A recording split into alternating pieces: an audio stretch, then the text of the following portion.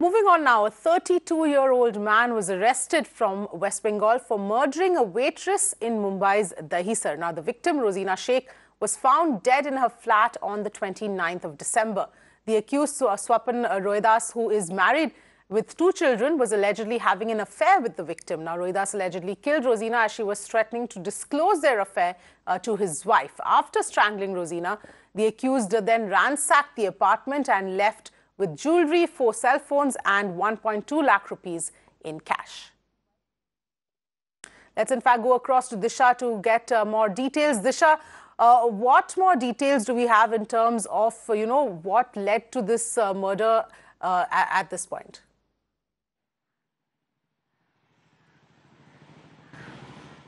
Well, uh, that's right, uh, Avni. In fact, uh, we know for the fact that the 33-year-old waitress, uh, she was uh, found dead in her Dahisar rented flat on 29th of December 2019. Uh, and close to a week now, the police did not really get any headway in the case in concern. But what really triggered was the fact of of one uh, green vodka uh, bottle which actually led uh, to the entire case being solved. What we know uh, for the fact that now the accused uh, here in concern has been arrested, 32-year-old accused has been uh, arrested in this matter.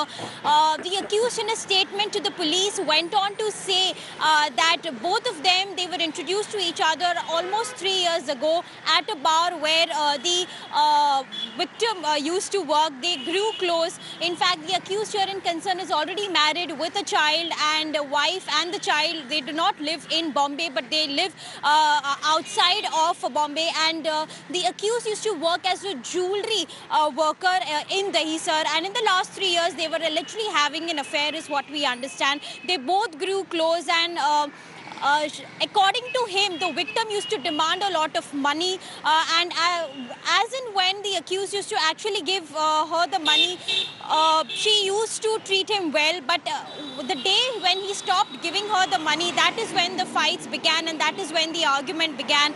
And the victim here in concern allegedly started threatening the accused, and that is how he actually killed her, is what we understand. On 29th of December, he went to her house and he killed her uh, with a pillow uh, uh, and she died due to suffocation. So all of these are the details that the police have shared and the accused has confessed to the crime to the police and he was arrested yesterday by the Dahisar police uh, officials.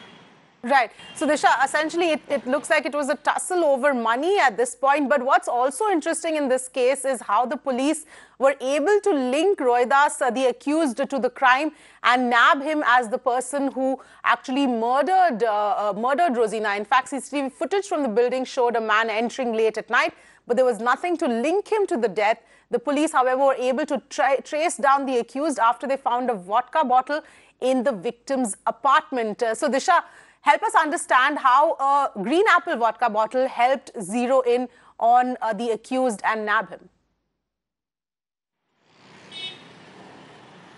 Well, uh, uh, definitely, uh, when on 29th of December the waitress was murdered, uh, the cops did visit her place couple of times for clues. They were hunting for clues.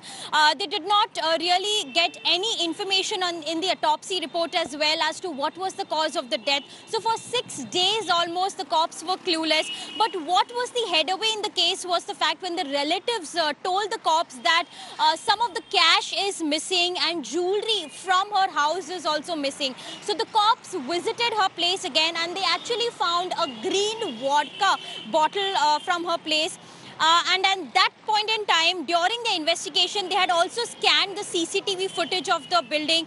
Uh, who was the man that entered? But that point in time, it was nothing that linked to her death in concern. So they did not really have any suspects at that point in time.